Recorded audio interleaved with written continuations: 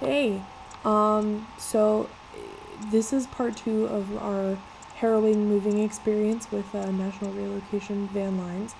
Um, and I'm going to pick up right where we left off. Um, if you're asking yourself when you're watching these, why on earth is she going into so much detail? Why are they so long? Um, I'm going to start off with telling you that I read the reviews for National Relocation Van Lines. Like, I'm, I'm, you know, I would like to think that at 26 years old, I at least know something about anything, and that I knew that you should read reviews before you go with a service or buy a product. Um, I read the reviews, and there were a lot of bad reviews and a lot of good ones. But I'll tell you what, I'm a rational human being, and I thought to myself, people go online to write bad reviews. Um, I've had a lot of great experiences at a lot of great places. Um, I very rarely go online to tell people about them, but sure as hell, if I have a bad experience, best believe I am online. Like, never go to this bar, never go to this hairdresser. Like, I'm the first person to say something. Um, but like I said, for good experiences, generally that's not that's just not what people do. Um, so I you know, I rationalized it that that's why there were so many bad reviews, but there were good reviews on there. You know, looking back, I know you can buy reviews. They probably bought good reviews. You know, these things happen. Um, but here's the thing when people say in a review, like in a review that's a paragraph long, like they didn't show up with our things for four weeks, or I never got my things, or all of my things were broken, or whatever, um, you can immediately think that you were in a different situation because our guy said this and our guy is doing this for us and we're not going to run into that because we have a guaranteed delivery date and on and on and on. The fact of the matter is is that the setup is usually the same and this is why these videos are going to be so long and so in depth because I if you're sitting here thinking that's not my situation, that's not what Leo told me, I'm here to tell you exactly what he told me. And if it sounds familiar, you walk because I'm here to tell you that that our situations are probably really similar if you're watching this video. So, uh, read reviews, talked to Leo Young. I'm gonna say his name a lot. Um, Leo Young, who um, wanted us to submit our inventory list and a deposit of $935 to him the next day. Um, come to find out later that reputable moving companies do not ask for deposits. And they come out and take your inventory in person most of the time. Um, this was not that at all. Um, he wanted me to email the inventory, he wanted a deposit. Again, that sounded fine to me. I didn't, who would send out somebody to do an inventory list? Like, that doesn't make, that just blew me away when I found out that that was a thing. And as for the deposit, that made total sense to me. You're taking your time and bringing your truck to my location. How do you know that I'm going to pay you anything?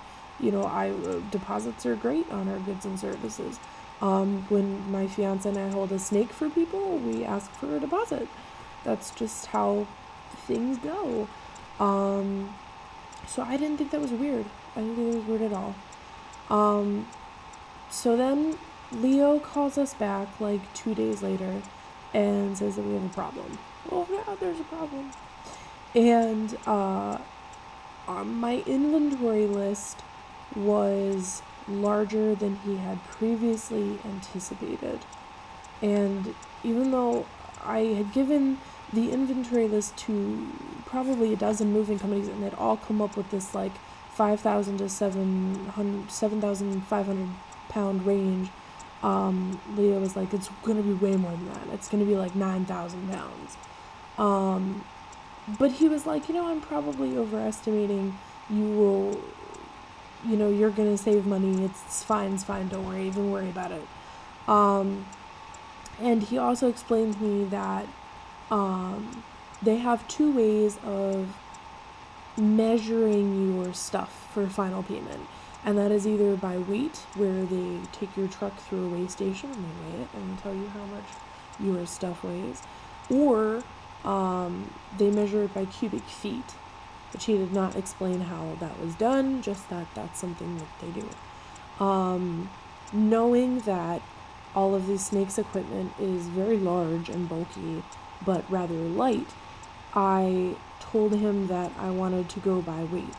And I was told by Leo Young that it didn't matter, that going by weight was the same to them as going by cubic feet, and it was just personal preference.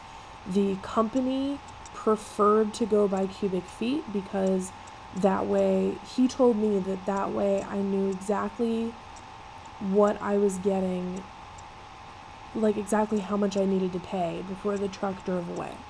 Um, he also told me that that way they could keep a measurement of the things going onto the truck, and when they got close to that allotted amount of space, they would say, like, hey, we're getting really close to that allotted amount of space.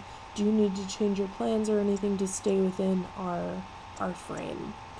Still, we have a lot of heavy, large items, and I or a lot of light, large items. The snake racks probably weigh 35 pounds a piece, but take up an awful lot of room. Um, so I was like, no, no, no, we're gonna go by weight, way, way better. Um, then he wanted a bigger deposit uh, because our inventory was way more than he thought, so he wanted more money up front.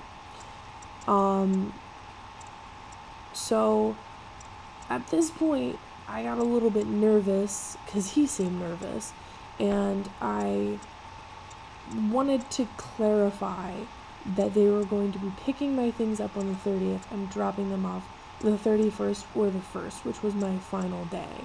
And he was like, Yeah, no problem. We remember he said that. Um, and all of a sudden on this phone call, he's like, What are you talking about? What do you what do you mean? Um, and my fiance, who was also on the line, we had a very stern conversation with Leo. Um, once again, reminding him that without heat, um, our animals would die. And we have a very valuable snake collection, and if they died, it would be a very expensive problem.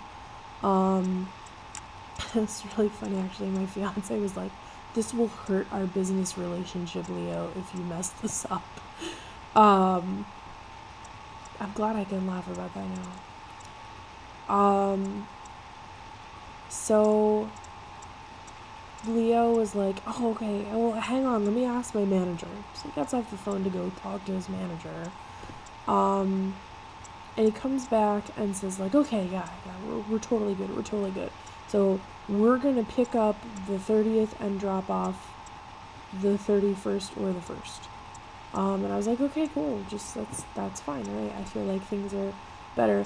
I was like, I'm I will wait for the full contract and the new deposit sheet, and uh, I'll get back to you. Well, um, like a day or two went by. Uh, now I, I probably again this is something I should have mentioned in the in the first video that this move was very last well I did say it was last minute but I didn't tell you how last minute we arranged all of our moving stuff within the last two weeks before we were to move um, by this point we were only like five days away um, and we hadn't heard from Leo for like two days and I didn't have the deposit sheet. I didn't have the contract. Um, and I was just like, why hasn't he sent it to us? He wanted the deposit like now. Um, so we tried calling, and he was out of the office on a Monday. On a business working Monday, he was out of the office the whole day. Um, we tried getting in touch with customer service, and nobody ever picked up. Uh, I left a message with customer service and nobody ever returned our phone call. Um, finally, like two days in, uh, somebody picked up the phone at Leo's desk. Um, his name was Ryan. I cannot remember his last name, but his name was Ryan. Um, picked up the phone and was like, hey, yeah, I'm Leo's on vacation and I'm covering for Leo because Leo's on vacation. Um, my fiance was the one that had the conversation with Ryan. I was in the room, um, but something about me, I will. I have no problem getting in your face, in person. Um, if you want to get nasty with me in person, or you want to hardline me in person, I will come for you. But I can't do it over the phone. I don't know what it is. I just my confrontational abilities disappear when when a phone line is between us. Um, so I I was like, please, can you handle this? Because if he if he's a loon, I have I can't deal with it because I'm just gonna say, okay, okay, okay. I don't know what it is. I just that's how I am. Um, so Ryan was like, well, Leo never put any of this stuff in about your date. He never put anything in about these animals. What is this about the bigger deposit? I don't see, like, um, why haven't you guys paid it yet? It should have been paid already. All of this stuff. He also tells us at this point that there is no going by weight that you have to go by cubic feet, that in order to go by weight, it is an extra $1,500 charge. Um, and that that's just, and my fiance was like, well, that's not what we were told. That's not what, what we put our deposit down knowing. And the guy just kept, Ryan kept saying, that's just the way it is. That's just the way it is. Um, and as far as the delivery date, Ryan was like, I can't, I can't guarantee that it's going to be there by the 31st or the 1st. I just, that's just not going to happen. Um, you know, we have a 14 day window that we're allowed to drop things off in. And my fiance um, was getting progressively more and more upset with him um, and was like, No, you don't understand. We have animals that will die if they don't receive their caging, which you will have on your truck. And if you had told us in the beginning that you weren't we couldn't go by weight, if you had told us that you couldn't guarantee a delivery date, we would have gone with another moving company. Because we would have, because we can't we can't afford to take those kind of risks. And so Ryan so my fiance started saying that he was you know, I need to talk to a manager. I need to talk to somebody because this is just isn't adding. This isn't right. This isn't right. Um, so Ryan gets off the phone to talk to his manager. To talk to his manager. It seems to be a thing. Um, and he comes back with, with better news and he's like, okay, you know, um, so we're going to waive the extra deposit um, you have to go by cubic feet because that's just what we do, but we'll give you a $200 discount. Um, and I will give you a guaranteed delivery date of August 1st. Okay? And, you know, okay. Guaranteed delivery date August 1st in writing. Waive the deposit, $200 off, but we have to go by cubic feet. Okay all right, we're just, you know, all right. It's like three or four days from the move at this point. Um, you know, and we knew that if we walked, we were losing our deposit, which was a thousand dollars basically. Um, and we did not have the money to just walk away from a thousand dollars. We just don't. Um, and that's just how things go. So, um, A lot. So I'm trying to recollect all these minute details to tell you as much as possible, like the things that that happened, so that it doesn't happen to you.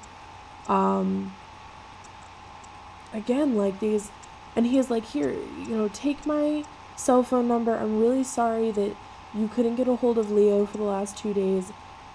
This will avoid communication blackout. If you have any questions at all, please contact my cell my cell phone. Here's the number. And talk to me. I'm here for you. And that made us feel way better. Um, you know putting all of your things on a truck with a bunch of strangers is a scary experience in and of itself. And so we were just kind of okay, okay, okay, and that made us feel way better that we had his personal number. Um, he told us that the movers would be in touch the 29th to confirm that they would be there the next day and that they would call us on the 30th to uh, tell us what time they were going to be there. Um, so we we said okay, and that was that was how that all went. Um, then the 29th came, and my fiance uh, had closing for the house on the 30th. I'd already signed him power of attorney and everything. So he left to go to North Carolina and sign for our new home. And we hadn't heard anything from the movers, and we tried calling everybody, and Ryan's desk didn't pick up, Leo's desk didn't pick up, customer service didn't pick up on a Wednesday. Um, nobody was there. And, you know, who, who knows? Was, we thought it was a fluke. Um, but nobody ever picked up, and nobody ever called us on the 29th. So my fiance took off, um, and that brings us to moving day, which was the 30th. Um, this video is already 16 minutes long, so I'm going to cut it here and start another video for uh, moving day number one. Like I said, this is probably going to be a series of videos, um, so you can kind of check out wherever you're like, okay, this isn't my situation, or whatever. Um, just to be as thorough as possible and to make it easier on the watcher again, so it's not like one 45 minute video. Um, so there you go. And I will see you in part three.